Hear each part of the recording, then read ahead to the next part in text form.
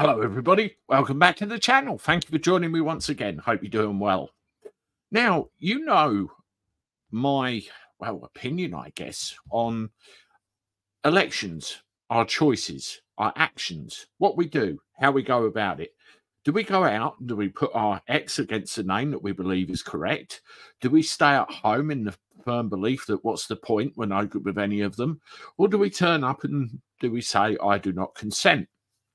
Well, I'm a big proponent of I do not consent. Uh, very much so. A very clear message needs sending to the establishment that we have no faith in you anymore. And I'm always open to alternatives, alternative views on that subject. And I received an email uh, the other day containing such an alternate view. Now, I'll, show you the slide in a minute, but I just want to read the first paragraph of this. Uh, I'm writing because I saw your video. I do not consent anymore. You see the problem exactly. I fully agree with you. I think you're describing a common frustration. I'm advocating for an electoral reform that I think is a potential solution. I'm hoping you will like and be willing to put it in the spotlight. I'm trying to attack where I message content creators like yourself who might like it. Now, what this person is actually referring to with regard to electoral reform is an electoral veto. Uh, rather than a straight I do not consent or vote for somebody.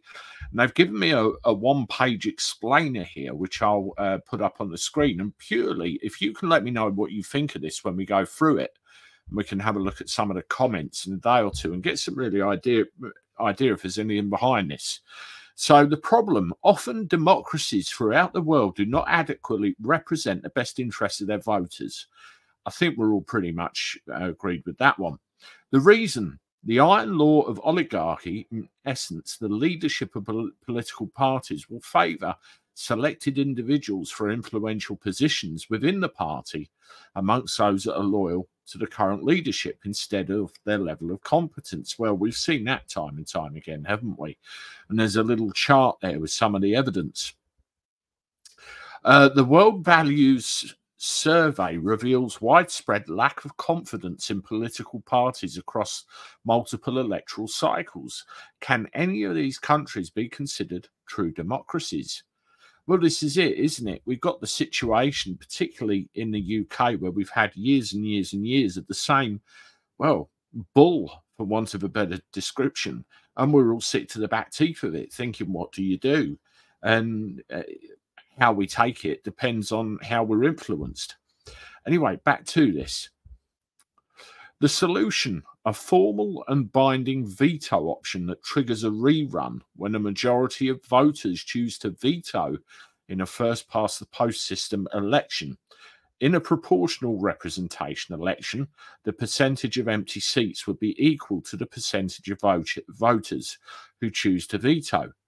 No seat in the legislature should be occupied unless the occupant demonstrates they have the consent of the majority of actually or, or actually represent a segment of voters. This solution has the potential to change the electoral system from a lead follow or get out the way oligarchy model to a more democratic one. It provides a reliable measure of voter dissatisfaction and an incentive to act upon it. This proposal motivates all prospective representatives to represent voters effectively by implementing this solution, democracies could potentially address the issue of inadequate representation and restore confidence in the electoral process. The veto is ground zero of reform. Make voters matter again. Make voters matter again. That's the thing at the end of that, isn't it? We we feel like we don't matter. We feel like our, our voice has no volume, no pitch another point of view. Let me know what you think in the comments. You know, you know, it's interesting hearing these things, and I'll bring them to you. As always, uh, hit the like button. And if you're on social media, I won't mind a share. I look forward to talking to you again soon. Toodaloo.